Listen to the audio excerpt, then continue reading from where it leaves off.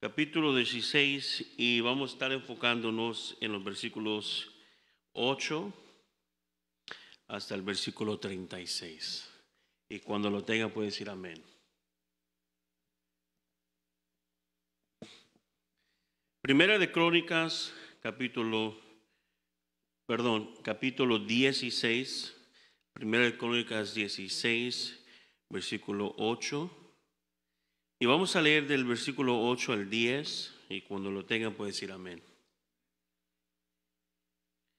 Dice la palabra del Señor en el nombre del Padre, del Hijo y del Espíritu Santo. Dice, alabad a Jehová, invocad su nombre. Todos juntos. Dice, alabad a Jehová, invocad su nombre, dar a conocer en los pueblos sus obras. Cantad a él, cantadle salmos, hablad de todas sus maravillas Gloraos en su santo nombre. Alégrese el corazón de los que buscan a Jehová. Amén. Que Dios bendiga su palabra. Amén. Esa es un salmo que se encuentra en Primera de Crónicas, escrita por eh, un hombre de Dios conocido como Esdras. Ah, quisiera hablar yo en esta hermosa tarde eh, de algo que el hermano Julio cantó eh, del agradecimiento. Y yo sé que estamos en el mes de agradecimiento, en el mes de noviembre. Y usualmente, eh, siempre en el mes de noviembre y el mes de diciembre, esa palabra se usa muy cotidiano entre cada persona, la palabra agradecimiento. ¿Y cuánto estamos agradecidos de que nos levantamos en esta mañana? Amén. A nuestra hermana compartía acerca de la situación ayer en nuestro hogar y sí, es un poco espantoso, pero agradecidos a Dios que Dios le ha dado ah, otra oportunidad eh, de estar aquí con nosotros. Em, pero nosotros sabemos que en los Estados Unidos celebramos el Día de Acción de Gracias. Yo sé que hablamos acerca de la historia de Acción de Gracias, pero en un tiempo donde vivimos nosotros, a donde solamente las personas se recuerdan de Acción de Gracias en noviembre, eh, sería muy apropiado para nosotros también acordar eh, eh, y que trayera memoria el agradecimiento en nuestras vidas todos los días. Todos los días es un día de acción de gracias para cada uno de nosotros. Ah, y quisiera yo enfocarme utilizando Primera de Crónicas, capítulo 16, en el versículo 8 al 10, a donde acabamos de leer nosotros, ah, un poco acerca de estas palabras eh, de agradecimiento y nosotros nos vamos a dar cuenta en el capítulo 16, en los versos 8 al 36, que hay tres modelos para agradecimiento y yo pienso que serían muy apropiados para cada uno de nosotros aprender acerca de esto. Ah, si usted no sabía, solo para darle un poco de trasfondo eh, histórico, Primera y Segunda de Crónicas es un libro en su totalidad, no son dos libros pero durante el tiempo de la traducción del Antiguo Testamento al lenguaje griego lo decidieron, decidieron ellos que sería mejor ah, dividirlo entre dos y así nosotros ahora tenemos primera de crónicas y tenemos segunda de crónicas. Pero cuando hablamos del libro de crónicas estamos hablando de los dos libros en uno, es un libro en su totalidad. Y tal libro no nos dice exactamente, si nosotros estudiamos el libro, no vemos quién es el autor del libro de Crónicas, pero de acuerdo a la historia judía, nosotros hoy entendemos que era Esdras. Esdras era el, el que escribió Crónicas. Y una de las cosas muy importantes de Esdras es que él lo escribió durante un tiempo a donde verdaderamente el pueblo de Dios estaba agradecido por lo que Dios había hecho porque después de muchos años había llegado el momento a donde Dios empezó a dar libertad al pueblo de Israel bajo el cautiverio babilónico. Israel poco por poco las familias empezaron a regresar a Jerusalén. Pero al llegar al pueblo de Jerusalén se dieron cuenta que no era el mismo pueblo de Jerusalén que ellos habían reconocido o que sus antepasados les habían contado a través de historias. No había esa ciudad grande, magnificante, una ciudad hermosa, poderosa. Israel no era una nación poderosa políticamente. Había puras ruinas en ese lugar. Los edificios, el templo, todo estaba destruido. Pero el pueblo de Dios estaba agradecido porque Dios los había liberado a ellos. Y una de las cosas que si usted lee la historia, que una de las primeras cosas que ellos hicieron era regresar a la palabra de Dios. Era lo principal. Y en primera y segunda de Crónica nosotros vemos al autor Esdras escribiendo un resumen de la historia de Israel. Si usted lee primera y segunda de Reyes y usted lee primera y segunda de Samuel, usted se va a dar cuenta que esas historias empiezan con, eh, eh, eh, con el pueblo de Israel al tiempo presente, en ese tiempo. Pero una de las cosas importantes de primera y segunda de crónicas es cuando nosotros leemos primera y segunda de crónicas, Esdras empieza desde el principio, desde Génesis. Esdras empieza a hablar acerca de la maravillosa palabra de Dios. Y Esdras empieza no como primera de Reyes o segunda o primera y segunda de Samuel, él empieza hablando acerca de Adán, cómo Dios creó al hombre y les da un resumen todo de crónicas, en primera de crónicas, para llegar al momento a donde estamos nosotros en el capítulo 16, es un capítulo muy importante, porque si nosotros nos damos cuenta, en el capítulo 15 algo había sucedido dentro del pueblo de Israel que había causado que en el, que en el capítulo 16 pudiéramos nosotros ver el resultado de ello. Era que el arca del pacto había regresado al pueblo de Jerusalén. Ese es en el capítulo 15. Nosotros nos damos cuenta acerca del arca del pacto, si usted se recuerda, el arca del pacto eh, tenía la barra de Moisés, tenía un plato de maná, tenía, eh, eh, tenía los diez mandamientos, pero esa arca representaba la presencia de Dios. Son todo lugar que esa arca estaba localizada, ahí estaba una representación, un simbolismo de la presencia de Dios. Y esa arca había estado perdido. Y David dijo, yo quiero que regrese la arca a Jerusalén. En otras palabras, que regrese un simbolismo del poder de Dios. Y la Biblia nos dice en Primera de Crónicas, capítulo 15, si usted tiene oportunidad cuando llegue a su casa, léalo, todo el capítulo 15 nos habla acerca de que cómo es que la presencia de Dios regresó al pueblo de Israel. Y la Biblia dice que David empezó a danzar, usted se recuerda, todo lo hemos visto, danzando alegre de que el arca había regresado a Jerusalén. Él había preparado todo igual como Moisés lo había preparado, preparado para eh, el regreso de la presencia de Dios a ese lugar. Ahora, nosotros nos encontramos ahora aquí en el versículo 8, y léalo conmigo, quiero que lo lea una vez más. Primera de Crónicas 16, 8 dice, alabad a Jehová, invocar su nombre, dar a conocer en los pueblos sus obras. Nosotros vamos a ver en lo que vamos a leer en esta hermosa tarde, que Esdras nos empieza a hablar acerca de Adán hasta el cautiverio babilónico y hasta el momento que Dios libra al pueblo de Israel. Él también, en lo que vamos a leer aquí, nos va a recordar de las promesas de Dios y sus intenciones con su pueblo. Nos va a recordar también de la promesa que Dios había hecho con el rey David años atrás y nos va a hablar acerca del verdadero agradecimiento. Recuerde que vamos a hablar de tres modelos de agradecimiento. Versículo 9 dice, cantad a él, cantad salmos, alabar, alabad de todas sus maravillas.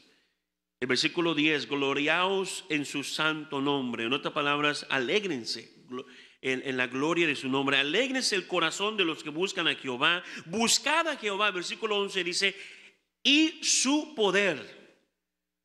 Buscad su rostro continuamente. Haced memoria de las maravillas que ha hecho de sus prodigios y de los juicios de su boca. Qué hermoso salmo nos da dando Esdras en este momento. Ese es un salmo de agradecimiento dentro del libro de Crónicas. Ahora, si usted ve esos versículos 8 al 12, hay 10 formas o 10 mandatos que nosotros encontramos aquí. Si usted quiere regresar al versículo 8, yo lo voy a leer los días, usted puede marcarlos. Mire, Son las diez formas de agradecimiento, mandatos de agradecimiento. Número uno, alabad a Jehová. Es número uno. Sobre todas las cosas, alabad a Jehová. Número dos dice, invocad su nombre. Hermoso, ¿verdad? El mandato número tres, da a conocer de Jehová a todos. Hermoso. El mandato número cuatro, cantad a Jehová. Número cinco dice hablar de sus maravillas. Yo, yo iba en mi, Biblia marcando cada uno. Número seis, gloriaos en su santo nombre. El mandato número siete, alégrese nuestro corazón. Número ocho, ¿qué dice número ocho? Buscad a Jehová. Ese es el mandato. El mandato número 10, buscar su rostro todos los lunes. No, continuamente, todos los días. Y número 10, hacer memoria de sus maravillas. En otra palabra, recuérdense de todo lo que Dios ha hecho. Amén. ¿Por qué es que el escritor nos está apuntando estos puntos de agradecimiento? ¿Por qué él nos está diciendo esto? Como le había dicho anteriormente en el capítulo 15, nosotros nos damos cuenta de un, evento de suma importancia para el pueblo de Israel. Un evento que había afectado al pueblo de Israel positivamente. Era que el tiempo del arca del pacto el cual no había estado ahí por mucho tiempo, ahora había regresado a descansar en Jerusalén. En el capítulo 15, vaya conmigo, versículo 28, nosotros leemos lo siguiente. De esta manera llevaba todo Israel el arca del pacto de Jehová. Y sigue diciendo, versículo 28, con júbilo y sonido de bocinas con trompetas y címbalos y al son de del salterio y arpas. En otras palabras, era una gran fiesta que el pueblo de Israel estaba teniendo en ese momento. Era una gran fiesta, ¿por qué? Porque el arca del pacto fue uno de los símbolos más instrumentales de la fe y de la presencia de Dios para Israel. Lo fue. El contenido del cual, mire lo que incluía, las tablas de la ley de Moisés estaban dentro de ese arca, una olla de maná y la vara de Aarón. El arca del pacto servía como un símbolo religioso donde el pueblo de Dios podía encontrarse con Dios. Nosotros no sabemos a dónde está el arca hoy. Está perdido. Él en otras palabras, hablando de la presencia de Dios, se asentaba sobre el arca cuando los sacerdotes estaban presentes. Ahí estaba la presencia de Dios. Y si los sacerdotes estaban ausentes, la presencia de las tablas de la ley reflejaba la presencia de Dios, es decir, era un símbolo de la presencia de Dios sobre su pueblo. Había regresado, en otras palabras, la presencia de Dios a Israel. ¿Por qué no están agradecidos? ¿Por qué no hacer gran bulla? ¿Por qué no darle gracias a Dios por todas sus maravillas? Ese era versículo 15, eh, capítulo 15, versículo 28. Después de ver nosotros estos mandatos en el versículo 8 al 12 que leímos, alabada a Jehová, invocar su nombre, dar a conocer a Jehová a todos, cantar a Jehová, alabar de su maravilla, gloriaos en su santo nombre, alegres en nuestro corazón, buscar a Jehová, buscar su rostro continuamente y hacer memoria de sus maravillas. Ahora vamos a ver por qué se le dio al pueblo de Israel estos mandatos. ¿Por qué estos diez? Hay tres modelos de agradecimiento aquí que podemos aprender. Vaya conmigo al versículo 13. Primera de Crónicas, capítulo 16, versículo 13. Dice la palabra de Dios, oh vosotros, hijos de Israel, su siervo, hijos de Jacob, sus, ¿qué dice? Escogidos. ¿Usted cree que la palabra de Dios nos está hablando a nosotros también hoy? Amén. El apóstol Pablo en una ocasión dijo, todo lo que fue escrito anteriormente fue escrito para nuestro aprendizaje de nosotros hoy. Son otras palabras, aquí la palabra dice, escuchen primero, dice, hijo de Israel, su siervo, hijo de... Después dice, les llama al pueblo de Israel sus escogidos. Primero tenemos que recordar que estamos leyendo un salmo de adoración. Primera de Crónicas 16 es un salmo de adoración, versículos 8 al 36. Si usted quiere, agarre su Biblia en el capítulo 16, ahí arriba ponga salmo de adoración, para que se recuerde. Aquí el escritor de Crónicas les estaba recordando que ellos eran el pueblo de Dios escogido. So, mira lo que lo primero que hace Esdras al escribirle esto, este salmo, le da 10 modelos de agradecimiento y después le dice, ¿por qué les está dando esto? Primero, porque ustedes son el pueblo escogido de Dios. Les está recordando. ¿Cómo les recordó Esdras que ellos eran el pueblo escogido? Al principio de Crónicas, él les habla de Adán y les empieza a hablar cómo Dios los libró del cautiverio en Egipto, cómo Dios los llevó a todo este lugar, a traerlos a donde ellos están hoy en nuestro tiempo. En otras palabras, Esdras quería que ellos se recordaran que Dios cuando promete algo, Dios cumple su palabra. Amén. Dios lo cumple. Aquí el escritor de Crónica les estaba recordando que no solamente eran el pueblo escogido de Dios, de Dios, pero les recuerda de sus antepasados y cómo es que Dios los usó para que las promesas de Dios siguieran adelante. Les recuerda de las promesas de Dios y que ellos y que esas promesas no cambien. Ahora, ¿cómo podemos nosotros aplicar este tipo de agradecimiento en nuestra propia vida?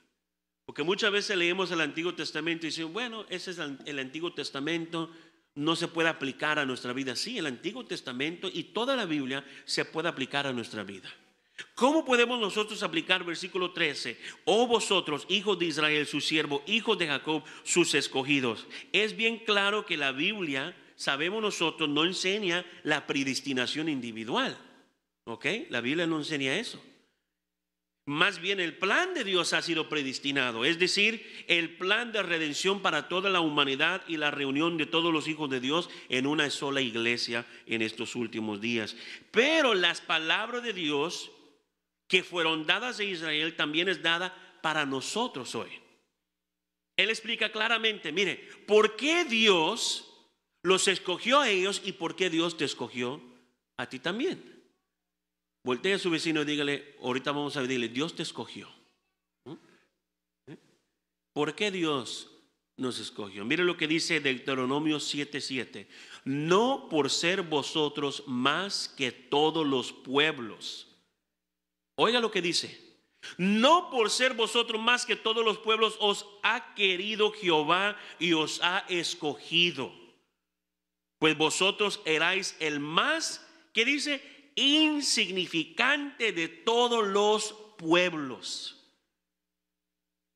Ahora voltea a su vecino y dígale, tú eres insignificante. ¿Ah? Eres más o menos. Que Esdras les está recordando a ellos, ustedes fueron escogidos no porque eran los mejores, pero porque Dios tenía una promesa para vosotros. Y es lo mismo para nosotros hoy. Ese, ese es el primer modelo de agradecimiento, es reconocer que hemos sido escogidos por Dios. Es lo mismo para nosotros hoy. Miren lo que dice la Biblia. Pero Dios que es rico en misericordia, oiga lo que dijo Pablo, por su gran amor con que nos amó, aún estando nosotros, que dice, muertos en pecados, nos dio vida con quién? Juntamente con Cristo, por gracia sois salvos. Hermoso, ¿verdad? Y dice, juntamente con Él nos resucitó. Y asimismo nos hizo sentar en los lugares celestiales con Cristo Jesús para mostrar en los siglos venideros las abundantes riquezas de su gracia y que dice en su bondad para con nosotros en Cristo Jesús. Y me gusta el versículo 8 que dice, porque por gracia sois salvos por medio de la fe. Y esto no de vosotros. Son otra palabra, lo que Ezra le estaba diciendo, Pablo les está recordando a nosotros hoy también lo mismo, que hemos sido salvos no por nuestro propio poder, sino pues es don de Dios, no por obras para que nadie se gloree. En otras palabras, nadie puede glorificarse de todo esto. Esas palabras son para nosotros también como también le fueron para Israel. el primer modelo de agradecimiento es que nosotros podamos ser recordados que fuimos escogidos por Dios. El tema de este agradecimiento es reconocer que Dios tiene un plan para nosotros igual como lo tiene para cada uno de nosotros. Número dos, el segundo modelo de agradecimiento, recordar la protección de Dios.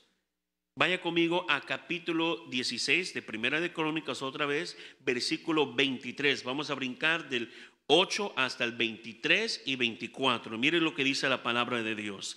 Cantad entre las gentes su gloria, en todos los pueblos sus maravillas. Y mira lo que dice, porque grande es Jehová y digno de qué? De prema alabanza y de ser temido sobre todos los dioses. Pero ¿qué dice ahí versículo 23? Cantar a Jehová y después dice, proclamar de día en día su qué? Salvación. Su salvación, ¿qué quiere decir? Su protección. Son otras palabras, el segundo modelo de agradecimiento para nosotros es recordar de la protección de Dios. Proclamar su salvación. ¿Cómo fue que Dios a través de los años los había salvado, protegido? Y el escritor de Crónica les estaba recordando que no solamente tenían que alabar a Dios a través de agradecimiento por ser su pueblo escogido, pero también alabar a Dios porque Dios había protegido a su pueblo. Tan hermoso. Ahora, ¿cómo yo puedo aplicar esta escritura a mi vida del Antiguo Testamento? Puedo ir a la carta de Pablo a los romanos en el capítulo 6, versículo 17 y 18 Romanos 6, 17, 18, el apóstol Pablo nos dice lo siguiente, pero gracias a Dios, miren lo que dice Pablo, que aunque erais esclavos del pecado, habéis obedecido de corazón a aquella forma de doctrina a la cual fuisteis entregados. Dios había librado el pueblo de Israel de la esclavitud de Egipto, de la esclavitud de los babilónicos, era una, un simbolismo del pecado en el cual usted y yo éramos esclavos antes de conocer a Cristo. ¿Y qué dice Pablo? Gracias a Dios que aunque éramos esclavos del pecado, ahora habiendo obedecido de corazón la doctrina en la cual fue entregado a nosotros, dice el versículo 18, y libertados del pecado, vinisteis a ser siervos de qué? De la justicia. Ahí aplico yo el segundo mandato, recordar la protección de Dios. Son los tres modelos. Número uno, recordar que fuimos escogidos por Dios. Y número dos, recordar de la protección de Dios sobre nuestra vida. Aquel que todavía no ha aceptado el regalo gratis de la salvación, que solamente es a través de Cristo, todavía es esclavo al pecado. No hay nada que puede hacer que una persona sea salvo con su propio poder. Ahora, yo quiero que note que la adoración empieza a través de reconocer que Dios nos ha escogido y nos ha protegido. Ahí empieza la adoración. La verdadera adoración es una combinación de agradecimiento a Dios, adoración a Dios y contando de sus maravillas con todos los que están a nuestro alrededor. Hay mucho por el cual podemos darle gracias a Dios hoy. ¿Cuántos están de acuerdo conmigo? Hay mucho. Israel tenía que recordarse de dónde lo sacó Dios y sabe que nosotros también deberíamos de recordarnos de dónde nos sacó Dios a nosotros. Aquel que ha sido libre del pecado, del vicio, aquel que Dios ha transformado totalmente, que ya no es como era antes, esa es una forma de agradecimiento. El punto principal de la, adoración de Israel, de su agradecimiento y de nuestro agradecimiento se encuentra, vaya conmigo en el versículo 25, porque grande es Jehová y digno de suprema alabanza. Miren lo que dice Esdras. No solamente dice que grande es Jehová, pero dice que Él es digno de suprema alabanza. En otras palabras, no hay nada más que pueda ser alabado solamente Dios. Solamente Dios. Por eso toda religión está mal. Que no ponga en cuenta a Dios y a Jesucristo como nuestro Salvador. Dice él, porque grande es Jehová y digno de suprema alabanza y de ser temido sobre todos los dioses. Ahora, las tres formas. Número uno, recordar que fuimos escogidos por Dios. Número dos, recordar de la protección de Dios. Y el tercer modelo, que es el último, recordar de proclamar su santo nombre. Vaya conmigo al versículo 35. Primera de Crónicas 16, 35, la Biblia dice, y decir, en otras palabras, proclamar, sálvanos, oh Dios, salvación nuestra recógenos y líbranos de las naciones. Y mira lo que dice. ¿Para qué? ¿Para qué nos va a librar Dios? ¿Para qué nos va a hacer eso? Dice, para que confesemos de tu santo nombre. En otras palabras, para que podamos proclamar tu santo nombre y nos gloriemos en tus alabanzas. Tremendo, ¿verdad? En otras palabras, él está diciendo, le está diciendo al pueblo de Israel, el tercer modelo de agradecimiento es recordar que tenemos que proclamar su santo nombre. ¿Por qué? Porque nos salvó, porque nos recogió, porque nos libró. ¿Por qué? Para que podamos confesar su nombre a todos, no solamente a un grupo selecto. El escritor les estaba recordando que al ver la salvación de Jehová podían a la misma vez confesarlo a todos, anunciar su santo nombre en todo lugar. Fuimos nosotros hace un mes al funeral de nuestro hermano José Antonio Reyes. Y una de las cosas que se me quedó en mi mente, que muchos que pasaban a testificar acerca de la vida de este hermano, era un hermano si usted no lo conoce, tenía una trayectoria tremenda, años en el ministerio. Fue uno de los primeros comunicadores del radio cristiano en toda Latinoamérica. Em, y una de las cosas que una hermana eh, estaba testificando es que decía ella, cada vez que íbamos a una tienda o a la tienda, él siempre le, le contaba a todo el mundo acerca de Jesús. Primero le decía, ¿tienes una iglesia local a dónde ir? Y si la gente decía no, decía, pues tú ven a mi iglesia. Y le daba el tratado y los invitaba. ¿Conoces a Jesús? Jesús te ama. Y en todo igual que íbamos, manejábamos en el carro, decía ella, y paraba en un lugar y decía, ese grupo parece que necesita ir a una iglesia. Vamos a, invitarlos a la iglesia. Son todo el lugar que él iba, dijo la hermana, iba proclamando la salvación de Jesús. ¿Por qué? Porque estaba agradecido. Pero nosotros no necesitamos el testimonio de alguien para poder motivarnos a hacer lo mismo. Está escrito dentro de su palabra. Y lo vemos aquí en el Antiguo Testamento, que era para qué? Para que confesemos tu santo nombre y nos gloriemos en tus alabanzas. Una persona que no puede detenerse de invitar a otros al servicio de la iglesia, a que los demás puedan reconocer y experimentar la verdad de la salvación que solamente, a través, solamente viene a través de Jesús, verdaderamente necesita Jesús.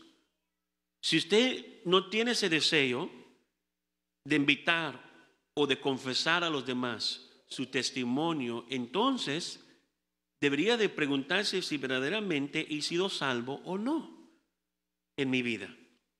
Un corazón agradecido es un corazón que no puede mantener su boca callada.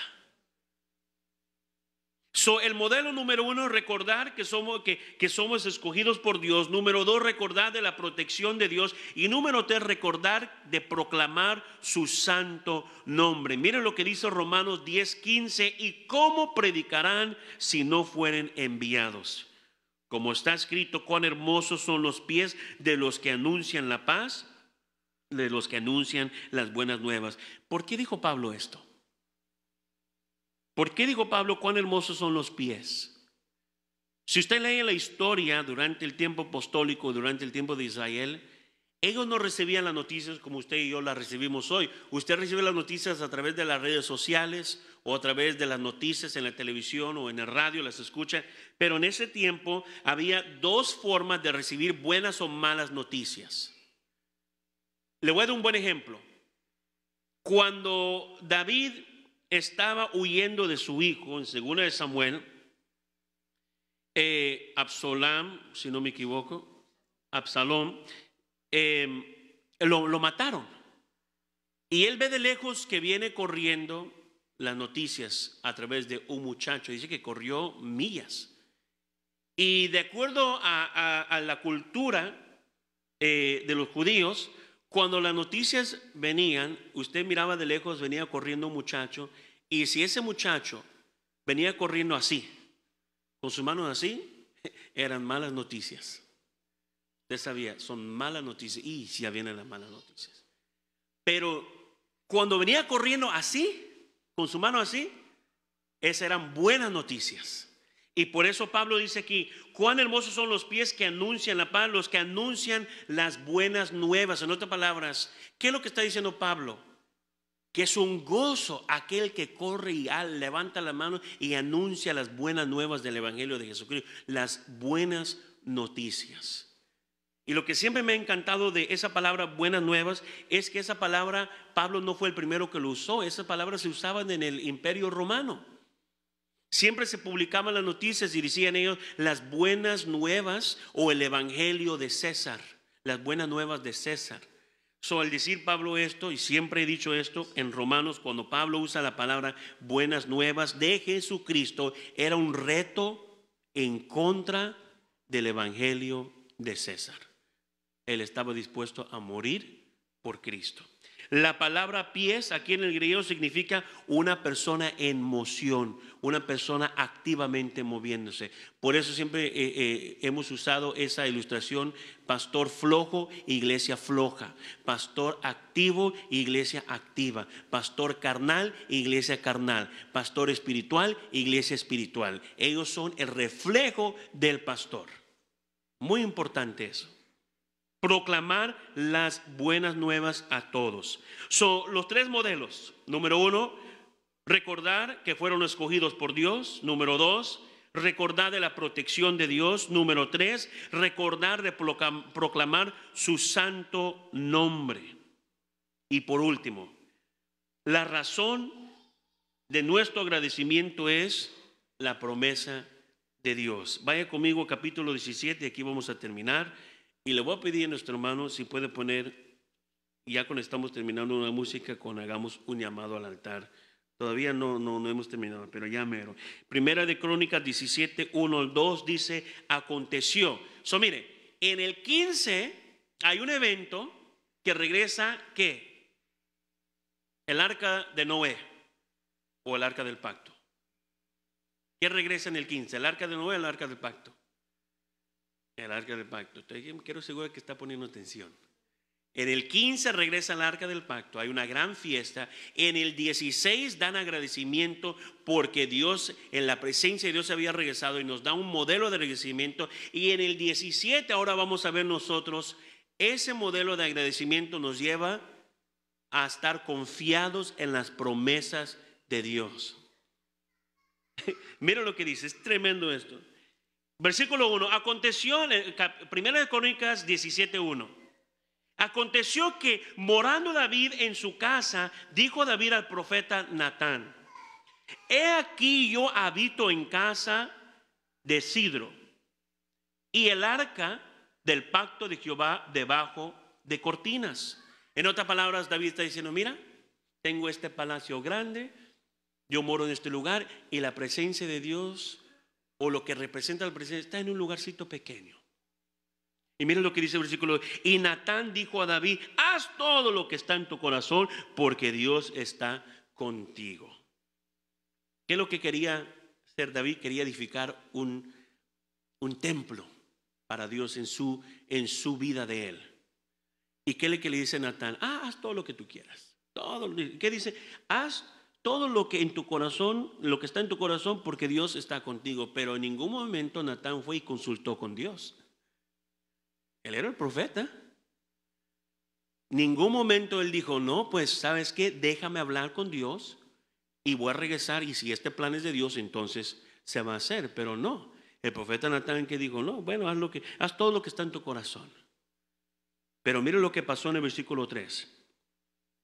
En aquella misma noche vino palabra de Dios a Natán diciendo, ve y di a David, mi siervo, así ha dicho Jehová, tú no me edificarás casa en que habite. ¿Por qué? porque no he habitado en casa alguna desde el día que saqué a los hijos de Israel hasta hoy. Antes estuve de tienda en tienda y de tabernáculo en tabernáculo. En otra palabra digo, David, wait a minute. Le dijo a Nathan, ve, regresa y dile a David que no. No. Dios le recuerda a Natán que su presencia no estaba sujeta a un edificio físico. Y a través del desierto Dios estaba con ellos sin cualquier cosa hecha por mano de hombre. Lo único que Dios quería era un corazón agradecido. Versículo 14, brinco conmigo el versículo 14, dice, y aquí vamos a concluir, dice, versículo 14, perdón, uh, primera de Crónicas 11, 14. Perdón, perdón, perdón, déjeme ver, 11, 14, sino que comparé mi casa, el reino de... Ajá, vaya conmigo, Primera de Crónicas 11, 14. Quiero asegurarme que tengo correcto esta escritura. No, no, no es esa escritura, perdón. Em, voy a leer aquí. ¿Y cuándo tus días? Perdón, versículo 11. De ese mismo capítulo, Primera de Crónicas 17, versículo 11 al 14. Dice, y cuando tus días sean cumplidos, para irte con tus padres. Ahora aquí le está hablando Dios a David. Levantaré descendencia después de ti a uno de entre tus hijos y afirmaré su reino. Mira lo que dice. Él me edificará casa. Y yo confirmaré su trono eternamente. En otra palabra, no va a tener fin. Si usted quiere, antes de seguir ahí en el versículo 11, usted ponga ahí Jesús. Aquí está hablando del Mesías. Versículo 13 dice, y yo le seré por padre y él me será por hijo y no quitaré de él mi misericordia como la quité de aquel que fue antes de ti. Hablando de Saúl. Qué triste, ¿verdad? Versículo 14, sino que lo confirmaré en mi casa y mi reino eternamente y su trono será firme para siempre. ¿Qué es lo que Esdras nos está diciendo aquí? Está diciendo Esdras en el versículo, en el capítulo 15, vieron que la presencia de Dios regresó. En el capítulo 16, la forma y el modelo de agradecimiento. En el versículo 17, recordar que Dios tiene una promesa y esa promesa se cumplió a través de quién? De Jesucristo. Esos versículos era la promesa anunciada de Jesús. Ese era el propósito verdadero del escritor de crónicas, a dar a conocer las obras pasadas, presentes y futuras. No solamente habían tres formas de agradecimiento, pero habían muchos más. Salmo 71.8 dice, sea llena mi boca de tu alabanza, de tu gloria, todo el día. Le voy a pedir a nuestro hermano que ponga algo ahí, vamos a darle gracias. Póngase de pie conmigo. So, esas tres formas de agradecimiento son muy importantes. Amén. Vamos a alabar a Dios y